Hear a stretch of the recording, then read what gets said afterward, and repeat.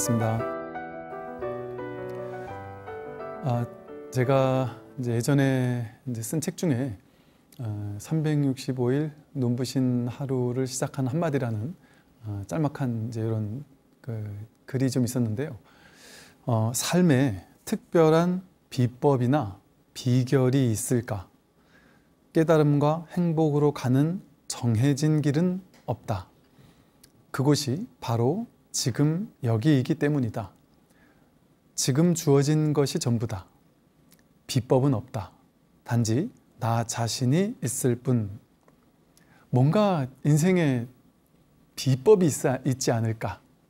삶을 잘 살 수 있는 어떤 비결이 있지 않을까 해서 그 비법과 비, 비결을 찾아서 동으로 서로 인도로 히말라야로 미얀마로 스승을 찾아 바깥으로 이 종교 저 종교 이 명상가 저 명상가 이 책 저 책을 뒤지면서 끊임없이 이제 찾아 나섭니다. 분명히 저기는 있을 거야. 어딘가에는 있을 거야. 내가 그걸 찾지 못하고 있을 거야. 도대체 그걸 어디 가야 찾을 수 있을까? 나는 지금 내 인생은 너무 허망하고 괴롭고 나는 도대체 어떻게 살아야 할지 모르겠어. 내 인생을 정말 잘 살고 싶은데 어떻게 하는 게 잘 사는 걸까? 나는 지금 잘 못 살고 있는 것 같아. 남들을 보면 다 잘 사는 것 같아 보이고 다 행복해 보이고 야, 저런 사람은 얼마나 잘 사는 걸까? 행복한 걸까? 나도 저렇게 살고 싶다 하면서 누군가를 부러워하고 누군가의 삶을 꿈꾸면서 나도 저렇게 살고 싶다. 이런 이제 생각을 하고 삽니다, 우리들은. 그러다 보니까 그러한 어떤 미지의 세계가 있을 것이다. 뭐 샹그릴라 같은 어떤 세계를 찾기도 하고요. 무언가 어떤 그런 이것을 충족해 줄 만한 어떤 삶이 있을 거야. 비책이 있을 거야. 비법이 있을 거야. 그렇게 추구심을 일으킵니다. 그런데 어, 우리가 보면 그 쿵푸 팬더라는 영화에서도 그런 말이 나온다고 했죠. 어, 비책을 찾아서 비법을 찾아서 그렇게 찾았는데 나중에 어, 그 비책을 발견하고 열었더니 아무것도 없었어요. 보니까 내 얼굴이 이렇게 드러나 있더라는 거죠. 그러면서 어, 특별함을 찾아 나서지만 진짜 특별한 것이 무엇인지 아느냐. 진짜 특별한 것은 너가 너 자신 스스로를 특별하다고 믿으면 그것이 특별한 거야. 자연 만물은 있는 이대로 다 아름답고 특별합니다. 저마다의 아름다움이 있고 저마다의 개성이 있죠. 근데 그 가운데 어떤 것이 더 좋다 나쁘다라고 할 수는 있지만 그건 자기가 보는 견해일 뿐이죠. 자기에게 그렇게 보일 뿐이죠. 자기 취향에 따라서 어떤 사람은 아 소나무 같은 기상이 좋아 사시사철 푸르른 것이 좋아 하고 어떤 사람은 봄, 여름, 가을, 겨울 모양을 달리하는 참나무가 좋다라고 할 사람도 있을 것이고요. 토끼 같은 삶이 아름답다고 생각하는 사람도 있지만 사자 같은 삶을 아름답다고 느끼는 사람도 있겠고요. 발 아래 냉이꽃이나 꽃다지나 꽃말이 같은 그런 아주 작지만 눈에 보이지도 않는 그렇지만 가까이 다가가서 바라보면 아름다운 이제 꽃말이 같은 건 보이지도 않지만 가까이에서 보면 너무나 그 아름답거든요. 꽃다지는 그렇게 아름답다고 느껴지진 않을 수도 있겠지만 또 그 자세히 들여다보면 그, 그것 또한 꽃이에요. 또 가까이 가서 보면. 그런가 하면 어떤 사람은 강렬한 장미를 아름답다라고 할 수도 있겠죠. 어떤 게 정말 아름다운 것인지 어떻게 사는 삶이 정말 좋은 것인지 진리인지 그게 정해져 있을까요? 그런 게 정해져 있을 수가 없죠. 언제 비로소 그 자리를 가게 되느냐, 그 비책을, 비결을 획득하게 되느냐, 그것은 내가 나의 길을 인정할 때, 내가 나로서 존재하기를 바랄 때, 더 이상 다른 무언가가 되지 않기를 선택할 때 더 나아져야 해. 남들처럼 살아야 해. 저 사람처럼 살고 싶어. 저렇게 되고 싶어. 아니면 지금 이대로가 아닌 다른 뭔가 산뜻하고 놀라운 아름다운 삶의 비결, 비책을 나는 지금은 모르지만 있지 않을까? 하는 막연한 생각으로 그걸 찾아 나서는 그걸 포기하면 지금 여미, 여기에 이미 드러나 있는 이 진짜 특별한 내가 있는 그대로의 내가 드러나기 시작한단 말이에요. 나라고 할 것조차 없는 그냥 이 아무것도 아닌 내가 꽃다지 그대로인 그 볼품없다고 느낄 수 있지만 그 냉이꽃 그대로인 그냥 그 발 아래 흐드러져 있는 그 누구도 세상 사람 그 누구도 관심을 주지 않는 자풀이라고 느껴졌던 그 꽃이 그대로일 뿐인 거예요. 어떤 것을 더 위대하고 더 위대하지 못하다라고 하는 건 사람이 만들어내는 분별일 뿐입니다. 사실은 추구하기를 멈추고 무언가가 되기를 멈출 때 언제나 우리는 이미 이렇게 되어 있잖아요. 다만 이걸 내가 마음에 안 들어라고 스스로 생각했을 뿐이지. 비교해서 행복을 찾으려고 하면 죽을 때까지 행복할 수 없습니다. 아무리 큰 행복의 조건을 얻어도 사람은요, 금방 적응합니다. 아름다워지고 싶어서 수술을 해서 수술이 잘 끝났어도 그 아름다운 외모에 스스로 금방 질려버리고 또 시간이 지나고 나면 어차피 늙고 병들어요. 큰 아파트로 이사 가고 싶지만 아파트로 이사 가자마자 그건 당연한 게 돼버려요. 더 아름다운 것을, 더 화려한 것을 또 추구하게 돼 있습니다. 돈을 얼마 이상은 벌었으면 좋겠어라고 하지만 그건 정말 거짓입니다. 그걸 벌자마자 얼마 안 있어서 거기 바로 적응해 버려요. 그래서 이 정도 버는 건 당연한 게 돼 버려요. 그러니까 이게 우리 인간은 참 신기합니다. 바로 거기 어찌 이렇게 빨리 적응을 하는지 그렇게 빨리 적응을 해놓고서는 또 다른 거를 추구하고 또 다른 거를 욕망하면서 계속해서 부족하다고 한단 말이에요. 많이 가진 사람, 많이 소유한 사람이 거기서 만족할까요? 전혀 만족하지 않습니다. 어떤 사람, 조건과는 상관없이 그 만족하기를 선택한 사람, 그 사람만이 만족하는 거예요. 우리는 무언가를 더 얻고 가지고 노력하고 애써서 내가 원하는 어떤 이상적인 상태에 도달했을 때 내 인생의 목표가 달성되고 나는 비로소 어떤 비중 있는 사람이 되고 세상에 어떤 빛나는 사람이 되고 사람들로부터 칭찬받고 찬탄받는 사람이 되고 내가 의미 있는 삶이 되고 가치 있는 인간이 된다 이렇게 생각합니다. 그렇게 생각할 뿐이죠. 그거 다 자기 생각이에요. 어떤 게 정말 가치 있는 삶입니까? 저는 전에도 한번 말씀드렸나요? 아, 제가 어렸을 때, 그 아버지가 아버지와 함께 어, 주말에 이제 어, 뭐 보도블록도 찍고 담장도 찍고 하는 이런 일들을 토건업을 했었어요. 그 제가 직접 이렇게 경운기를 몰고 다니면서 배달도 하고 했었어요. 그래서 저 기억나는 게 제 초등학교 때, 중학교 때 초반인가 아버님 친구분이 오셨는데 제가 뭐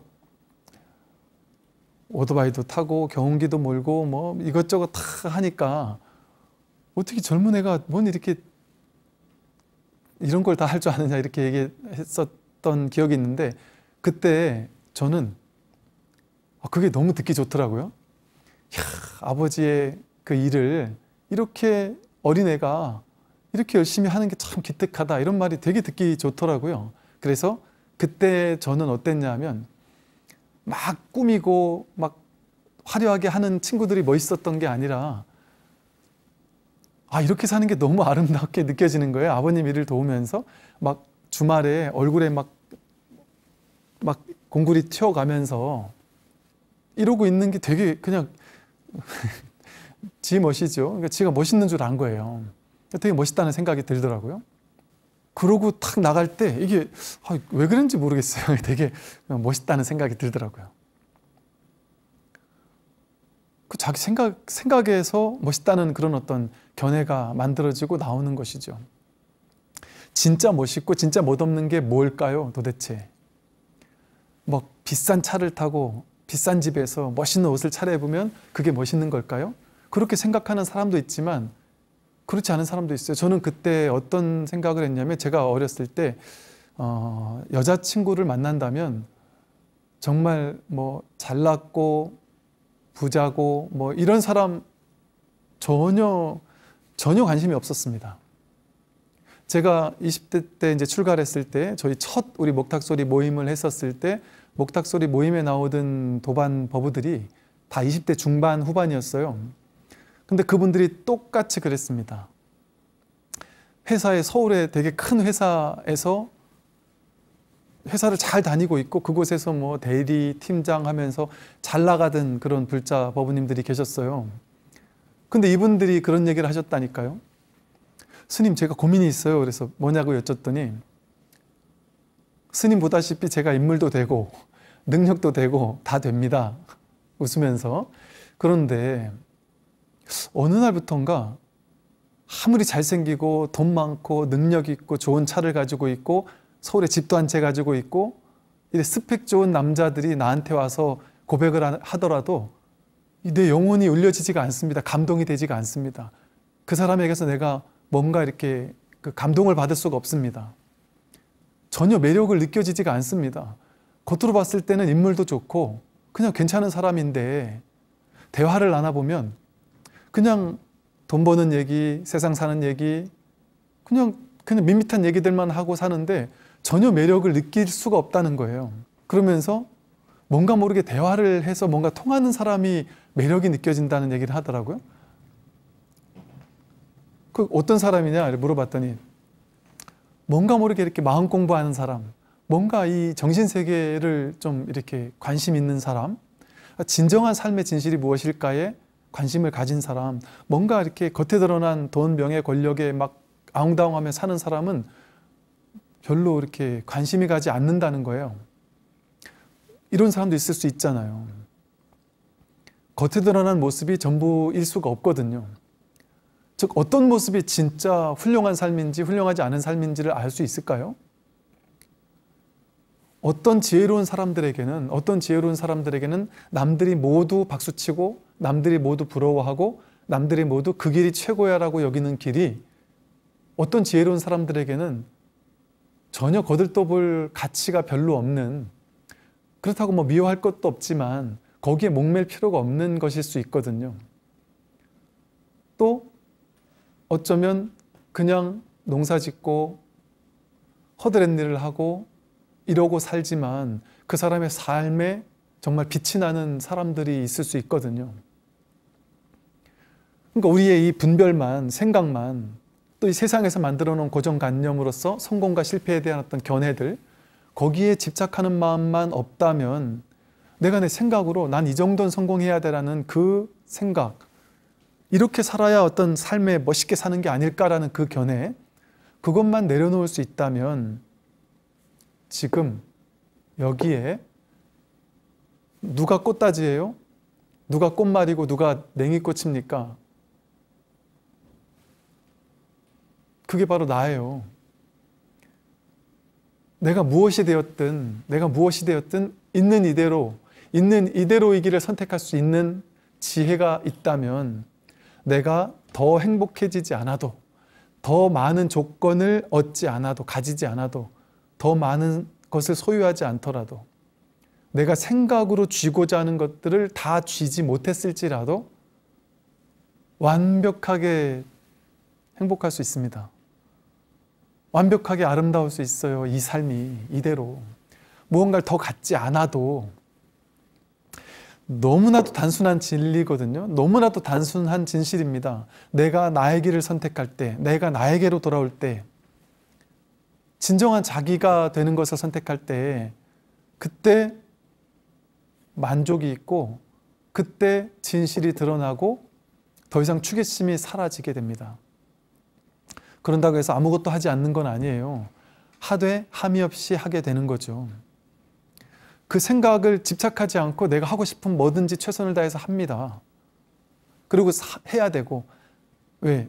내가 하고 싶어 하는 게 아니에요. 저절로 하게 돼 있으니까 그거는 신경 쓸 필요 없습니다. 스님 그렇게 살면 너무 바보처럼 살지 않을까요? 뭔가 인생에 성공도 없고 성취도 없고 열심히 살지 않지 않을까요? 아, 그런 생각 할 필요가 없습니다. 그건 망상이에요. 분별이에요. 배고프면 저절로 밥을 찾게 돼 있고요. 돈이 없으면 저절로 돈을 찾게 돼 있어요. 직장을 구하게 돼 있어요. 그래야 내 계속 밥을 먹을 수 있으니까.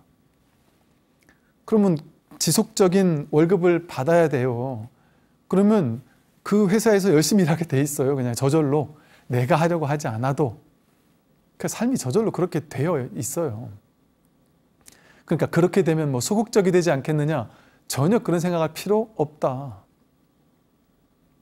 우리가 깨달아야 할 놀라운 진실은 지금 여기에 진실이 드러나 있다라는 이것이 진실이라는 사실. 지금 이렇게 드러난 내가 진실이고 이 내가 진실이라는 이 말도 이제 방편이에요. 이 나라고 할 만한 뭔가가 따로 없는데 우선 방편으로 이런 말을 한번 해보는 거예요.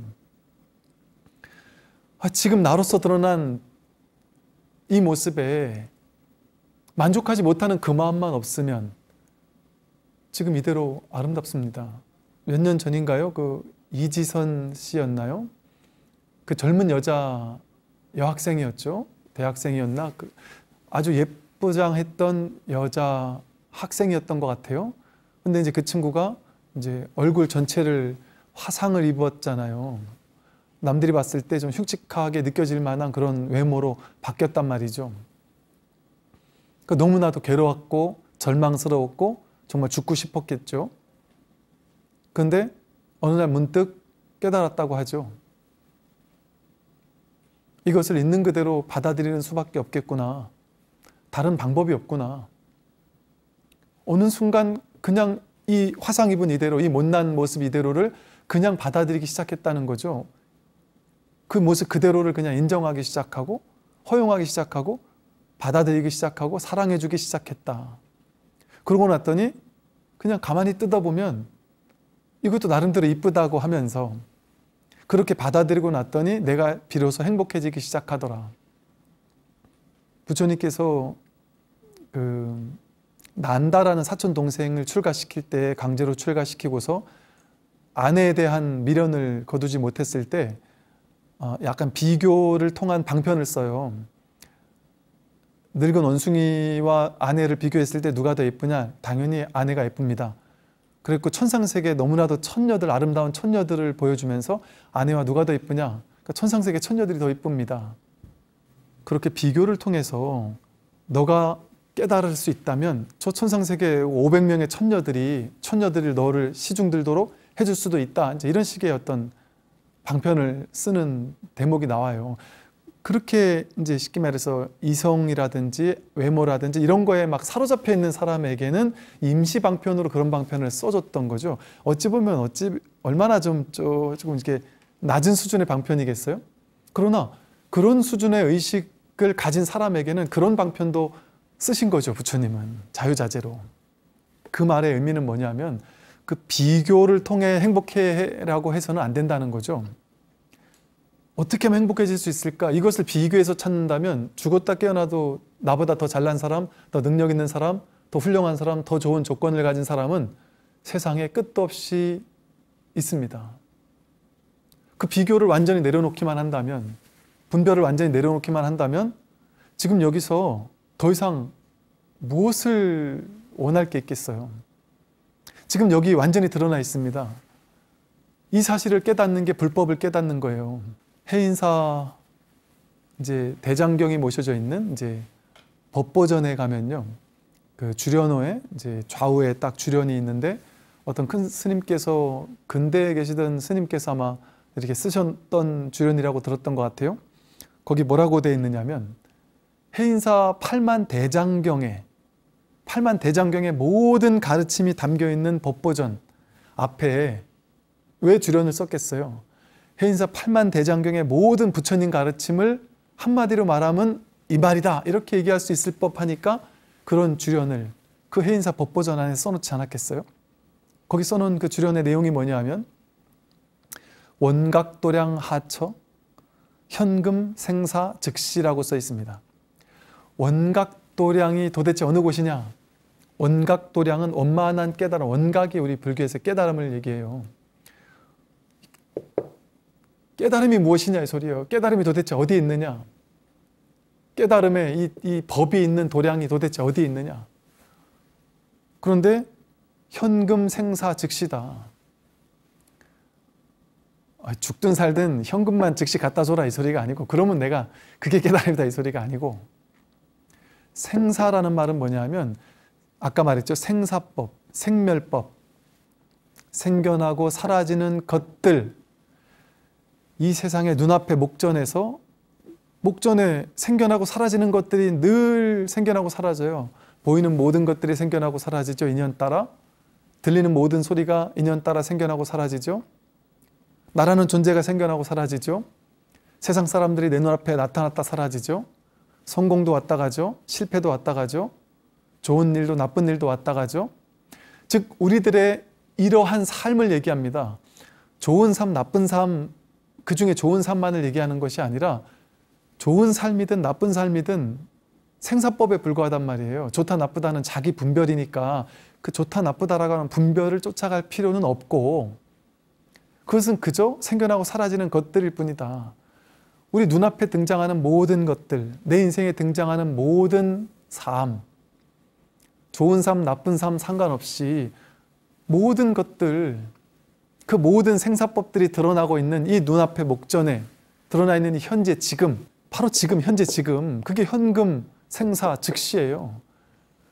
지금 즉시 바로 여기에 드러나고 있는 이 생사법이 드러나고 있는 좋고 나쁜 모든 것들이 오고 가고 있는 그것을 지금 여기서 내가 경험하고 있는 지금 이대로 지금 이것이야말로 원각도량이다. 지금 이대로를 벗어나서 어디서 원각도량을 찾을 수 있을 것이냐. 깨달음의 원만한 완전한 행복, 완전한 평화, 완전한 자유, 완전한 깨달음, 고요, 그것을 도대체 어디 가서 찾을 것이냐. 이미 여기로 돌아오면, 진정한 자기로 돌아오면, 이 마음자리로 돌아오면, 이 법의 자리로 돌아온다면, 여기에 태어나면서부터 지금까지 단 한순간도 이 법 아닌 적이 없었다는 거예요. 진실 아닌 적이 없었다.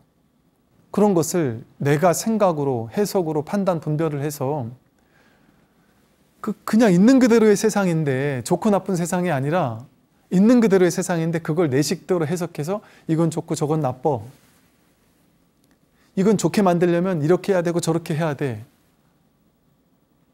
여러분 지금 지금 건강해요. 건강한데 TV를 보니까 막 건강에 대한 얘기가 막 나와요. 그걸 보고 어느 날 문득 TV에서 멀쩡하던 사람이 뭐 갑자기 쓰러졌다는 얘기가 나오고 아니면 의학 프로그램에서 갑자기 당뇨병이 걸릴 수도 있다. 뭐 어디가 안 좋아질 수 있다. 간이 안 좋아질 수 있다. 뭐 암이 걸릴 수 있다. 이런 얘기를 들으면 그 생각에 쫓아가요. 나도 모르게. 내가 그 병에 걸렸으면 어쩌지? 내가 저 병에 걸렸으면 어쩌지? 그 병으로 빨리 죽으면 어쩌지? 그랬다가 머리는 이미 막 중환자실에 누워 있어요. 그런 생각이 막 갑자기 그 생각을 나, 들고 나면 갑자기 문득 스트레스를 받아요. 내가 이래 살다가 몸이 아프거나 이래 살다가 내 진급도 못하거나 이래 살다가 남들에게 욕먹거나 힘든 일 생기거나 괴로운 일 생기거나 그럼 어쩌지? 하는 마음 때문에 갑자기 우울해져요. 여러분 살다 보면 문득문득 별일 없는데 갑자기 우울해지잖아요. 자기 생각이 허망하게 일어나서 그 생각을 쫓아간 줄 모르고 문득문득 우울해지고 외로워지고 괴로워지고 그래서 그 괴로움을 해결하려고 막 머리를 써요. 갑자기 문득 내가 성인병에 걸리면 어쩌지? 그래서 쓰러지면 어쩌지 하는 생각이 일어났어요. 근데 그 생각이 일어나면 곧장 또 다른 생각이 아 이러면 내가 어떻게 해야 될까? 아 내가 운동을 해야 될 건데? 그럼 내가 헬스클럽을 끊어야 되나? 사내를 가야 되나? 뭐를 해야 되지? 이것도 안 하고 저것도 안 하고 살았구나. 나는 참 멍청한 사람이야. 그래서 그걸 하기 위해서 또 먹는 것도 바꿔야지. 좋은 음식을 먹어야지. 내가 지금까지 먹었던 음식이 다 나쁜 음식이었고 술, 담배가 다 내 몸을 나쁘게 했을 것이고 이런 온갖 생각 생각들하고 해야 될 실천 수행들이 실천할 것들이 너무 많아져요. 근데 그것만 한다고 되겠느냐? 맨날 술 좋아하는 친구를 만나니까 그놈부터 끊어야 되겠구나. 회사에서 맨날 회식하니까 회사에서 내가 회식 가지 말아야 되겠구나. 어, 그런데 회사에서 회식 가지 않으면 내가 뒤떨어지는 거 아니야? 회사에서 찍히는 거 아니야? 온갖 생각이 막 복잡하게 그 한 생각에 꼬리를 꼬리를 물고 일어나서 답 없는 생각의 숲 속에서 길을 잃습니다. 답도 없는 자기가 만들어 놓은 허망한 괴로움을 실제화시켜서 그걸 해결하려고 문제가 아닌데 자기가 문제를 만들어 놓고 그걸 해결하려는 해결책을 찾기 시작하면 거기에 대한 해결책은 몇 가지일까요? 당장 회사 가서 지금 회식도 안 해야 될 판이고 밤늦게 먹지도 말아야 될 판이고 해야 될 것들이 너무 많, 너무 복잡다단하게 일이 커져 버렸어요. 해야 될 일이 너무 많아져 버렸어요. 세상이 그렇게 복잡한 곳이 돼버렸어요. 근데 그 일만 복잡한 걸로 끝납니까? 또 다른 일들이 눈만 뜨면 무수히 많은 일들이 꼬리에 꼬리를 물고 내 인생을 엄습해 옵니다. 끝나지 않는 생각에 복잡한 어떤 삶의 구렁텅이 속으로 늪에 빠져버려요. 해결은 불가능할 것 같습니다. 하나를 해결하면 또 다른 문제가 생기고요. 또 다른 하나를 해결하면 또 다른 문제가 생겨버려요. 문제의 구렁텅이 속에서 죽을 때까지 빠져나올 수가 없습니다. 근데 그 모든 것들이 내가 만든 허망한 생각을 쫓아가니까 이렇게 복잡다단한 세상이 돼버렸어요. 세상은 그런 곳이 아닙니다. 아주 심플한 곳이에요. 아주 단순한 곳이에요. 태어난 모든 사람은 늙고 병들고 죽습니다. 모두 다 완벽하게. 안 그럴 사람이 아무도 없어요. 다 죽어요. 아, 그때 가서 한 번 죽으면 되는데 왜 평생을 죽는 고 통으로 죽고 나서 어떻게 될지 알아요? 죽고 나서 내가 영원히 살지 윤회를 할지 다음 생에 뭘로 태어날지 지옥 갈지 그게 진짜 있는지 없는지 몰라요. 아무리 생각을 해본들 답이 안 나옵니다. 지옥이 있는지 없는지. 여러분들의 그 분별을 쉬게 해주기 위해서 저는 그런 방편을 쓰죠.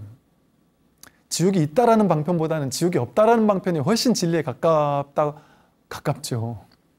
그 자기가 만든 지옥이니까 아, 지옥이 어디 있겠습니까? 자기 한 생각 일으킬 때 지옥이 참, 바로 그 자리에서 창조되잖아요. 모든 게 이와 같이 자기 한 생각에서 일어나거든요.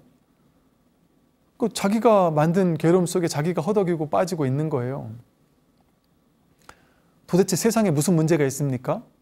세상을 복잡하게 만든 내가 문제가 있잖아요. 세상이 왜 이렇게 복잡하죠? 나는 왜 이렇게 불행한 거죠? 내가 불행한 게 맞습니까? 내가 나를 불행하게 만든 거 아닌가요? 세상이 나를 불행하게 만들었을까요? 돈이 나를 불행하게 만들었을까요? 내 생각이 나를 불행하게 끊임없이 만들고 있거든요. 그 생각의 농간에 빠지지 않는다면, 그 분별의 억측에 사로잡히지 않는다면, 지금 여기에서 내가, 나의 삶이 도대체 뭐가 문제인가요?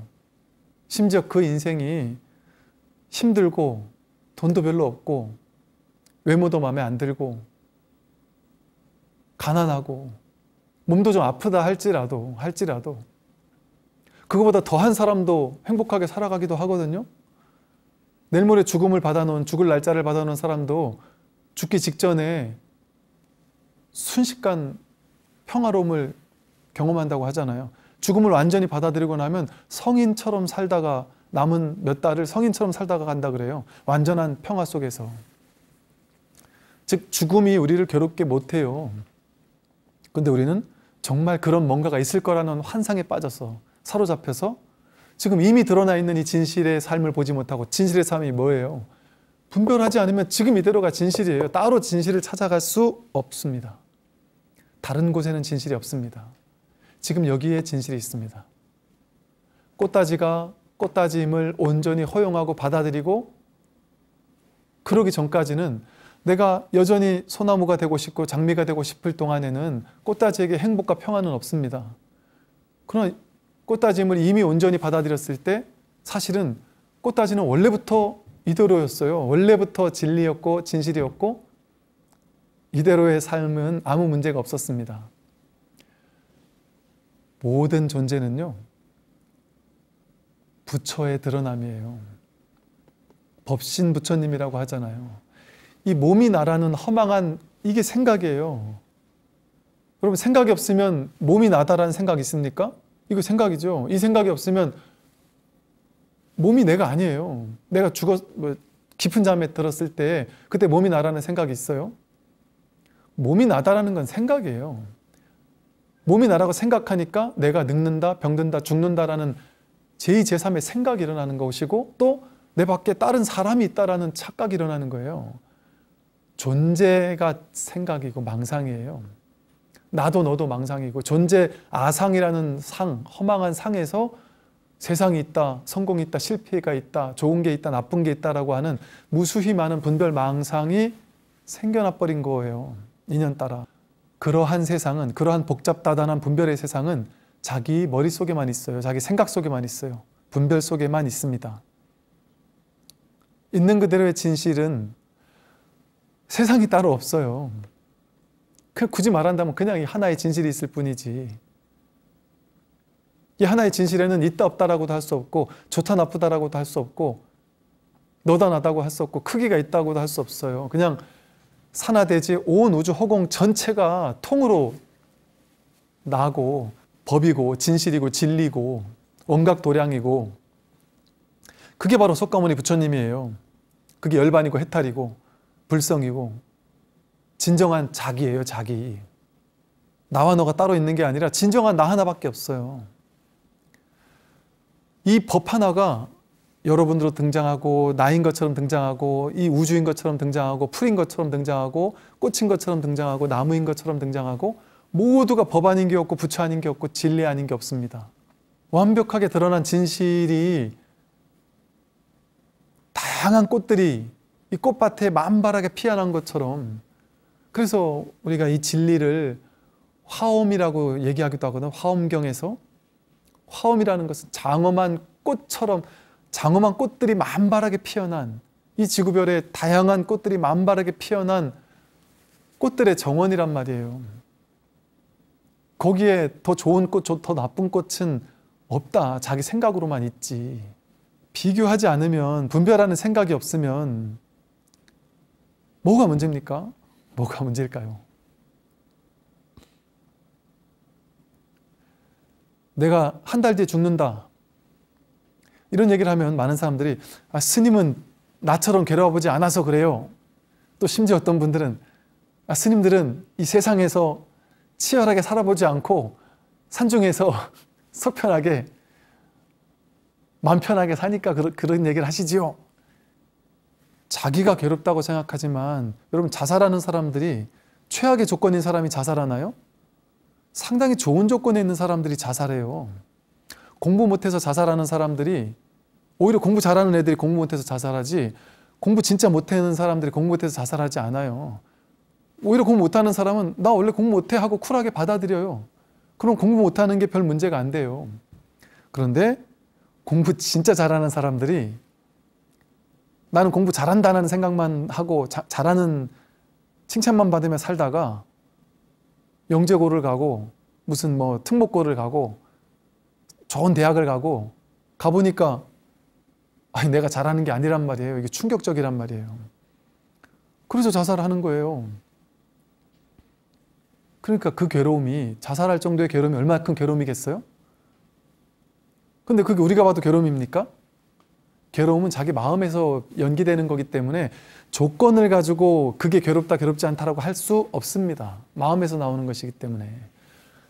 그래서 나같이 괴롭지 않아, 않아 보고서 어떻게 알아요? 이런 말 하면 안 돼요. 이 괴로움이 진짜 너무 괴로워요. 그것도 자기 생각이 만든 허상의 괴로움이라니까요. 1년 뒤에 죽을 날짜를 받아놓은 사람은 지금 중환자실에서 다 죽어가지만 그래도 살 수는 있는 사람을 얼마나 부러워하겠어요. 근데 중환자실에 있는 사람은 스님, 중환자실에서 고통받아 보지도 않고 어떻게 나같이 괴로운 사람의 심정을 알겠어요? 라고 하겠죠. 지금 영화 같은 데 나오잖아요. 막 칼, 칼 맞으면서 죽어가는 사람 입장에서는 그보다 더 큰 괴로움이 어디 있겠습니까? 그러니까 제 말은 이거 자기 얘기를 하고 있는 거라는 거예요. 예. 스님, 남들은 저렇게 행복한데 나는 어쩌고 이런 얘기를 하면 안 된단 말이에요. 그거는 그거는 너와 내가 자꾸 나뉘는 거잖아요. 그게 바로 비교예요. 모든 부처님 법문은 제가 하는 모든 말은 여러분 딱 한 사람을 위해서 하는 말이에요.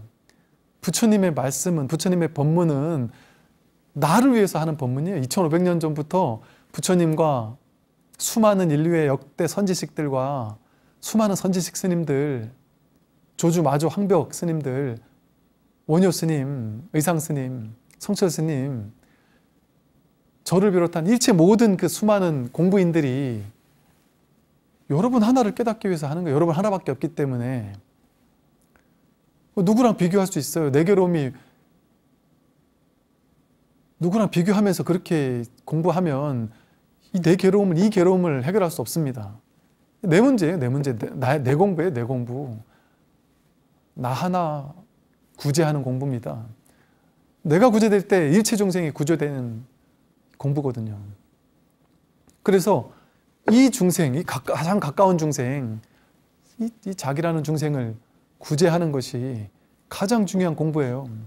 어떻게 해야 이 중생을 구제할 수 있겠습니까? 이미 구제되어 있다라는 사실, 이미 내가 이대로 부처라는 사실, 문제 있는 이대로 사실 문제가 없는데 내가 문제를 만들었을 뿐이구나 하는 사실을 자각하는 걸 통해서 자기에게로 돌아오는 거예요. 그냥 이 못난 자기에게로 내가 더 잘난 나로 바뀌는 게 아니다. 이 못난 이대로 살겠다. 그런다고 해서 여기서 주저앉는다는 얘기가 아니라고 했어요. 이걸 온전히 허용하고 받아들일 때 더 열정적으로 살게 되니, 된다니까요. 그건 해보고 나서 얘기를 하시란 말이죠. 그래서 지금 자기를 완전히 사랑하지 않으면 아, 이 세상에 나밖에 없는데 내가 나를 미워하면 내가 나를 못났다고 하면 아, 이 세상 그 누가 나를 사랑할 수가 있고 그 누가 나를 돌봐줄 수 있겠어요. 제일 불쌍한 사람 아니겠어요? 내가 나를 미워하고 내가 나를 못났다고 한다면 여기서부터 시작하라는 거죠. 내가 나를 사랑하고, 내가 나를 믿고, 내가 나를 부처라고 믿고, 내가 나를 완전히 받아들이고 허용하고 존중해주고 사랑해주는 것. 거기서부터 이 공부를 시작할 수 있어요. 그래야만 진정한 공부가 시작되고, 진정한 어떤 자유로움이 시작돼요. 그래서 정말 내가 공부할 수 있는, 이 공부를 통해 진정한 내가 누군지를 확인할 수 있는 그런 어떤 자세가 갖추어지기 시작합니다. 여기 계신 모든 분들이 다 부처님으로 보여요. 다 부처님이잖아요. 어떻게 부처님 아닌 분이 계실 수 있습니까? 자기 생각을 믿지 말고 진실을 믿으세요. 부처님께서 말씀하신 이 진실을 하나도 부처 아닌 사람이 없다라는 말씀하셨던 그 진실을 믿, 믿으십시오. 여러분이라는 그한분한 분의 부처님들을 응원하고 여러분이라는 선지식을 어, 공경하면서 저 또한 어, 살도록 이렇게 하겠습니다. 여러분들 하여간 어, 이 아름다운 별에서 아름다운 그 부처님들과 함께 어우러지는 이런 그 대장엄의 화엄의 세상을 행복하게 만끽하면서 이렇게 아름답게 살아 가시도록 음, 함께 하시죠. 네, 오늘 여기까지 말씀드리겠습니다. 성가십시오.